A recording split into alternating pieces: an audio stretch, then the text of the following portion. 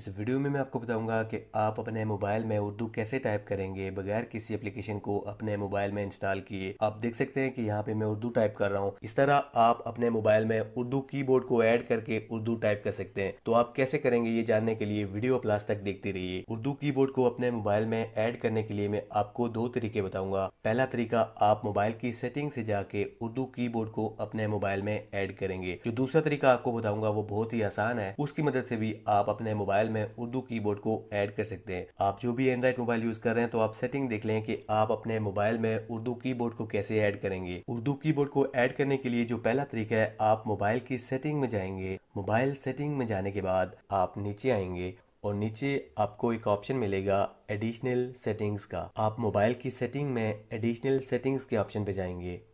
इस सेटिंग में जाने के बाद अब यहाँ पे आपको जो ऑप्शन मिलता है, जहाँ से आप उर्दू कीबोर्ड को ऐड कर सकते हैं, यहाँ पे आपको ऑप्शन मिलता है लैंग्वेजेस एंड इनपुट का। अगर ये ऑप्शन आपको यहाँ पे एडिशनल सेटिंग्स में नहीं मिलता तो इससे भी आसान तरीका है, आप मोबाइल की सेटिंग में जाएँगे। मोबाइल सेटिंग में यहाँ ऊपर आपको सर्च का ऑप्शन मिलता है। यहाँ सर्च में आप टाइप कर लेंगे लैंग्वेजेस एंड इनपुट तो आप देख सकते हैं कि यहाँ पे ये ऑप्शन शो हो गया है। आपके मोबाइल में ये ऑप्शन जहाँ भी होगा तो यहाँ सर्च में आप टाइप करेंगे तो ये वाला ऑप्शन शो हो जाएगा। उर्दू कीबोर्ड को ऐड करने के लिए आप इस ऑप्शन पे जाएँगे लैंग्वेजेस लैंग्वेजेस एंड इनपुट के ऑप्शन पे। अब इस ऑप्शन में यहाँ पे आपको जो पहला ऑप्शन मिलता है लैंग्वेजेस का, ये मोबाइल फ़ोन की लैंग्वेज है। आपने इसको चेंज नहीं करना। अगर आप मोबाइल फ़ोन की लैंग्वेज चेंज करना चाह रहे हैं तो ये उसके लिए ऑप्शन है। आपने कीबोर्ड की लैंग्वेज चेंज करनी है तो कीबोर्ड की लैंग्वेज चेंज करने के लिए यहाँ नीचे आप आएँगे मैनेज कीबोर्ड्स के ऑप्शन पे। ऊपर आप सकते हैं कि यहाँ पे करंट कीबोर्ड में जी बोर्ड शो रहा है, जो कि गूगल का कीबोर्ड है और मैक्सिमम फ़ोन में यही आता है। आप जो भी फ़ोन यूज़ कर रहे हैं तो उसके लिए यहाँ पे आपने मैनेज कीबोर्ड्स के ऑप्शन पे जाना है। अब यहाँ पे आपको ये वाला ऑप्शन मिलता है। आप इस ऑप्शन पे जाएँगे तो अब आप देख सकते हैं कि यहाँ पे कीबोर्ड की सेटिंग्स ओपन हो गई है। यहाँ से आपने उर्दू कीबोर्ड को ऐड करना है। आप उर्दू कीबोर्ड को कैसे ऐड करेंगे? अगर ये सेटिंग आपको नहीं मिल रही तो इससे भी जो दूसरा आसान तरीका है, वो मैं आपको बता देता हूँ। आप मोबाइल के कीबोर्ड को ओपन कर लेंगे। कीबोर्ड को ओपन करने के बाद अब यहाँ पे आपको ये तीन डॉट्स का ऑप्शन मिलता है। आप इस ऑप्शन पे जाएँगे या यहाँ मोबाइल में आपको नीचे सेटिंग का ऑप्शन मिल रहा होगा। आप सेटिंग के ऑप्शन पे जाएँगे। तो यहाँ से मैं इन तीन डॉट्स पे जाता हूँ।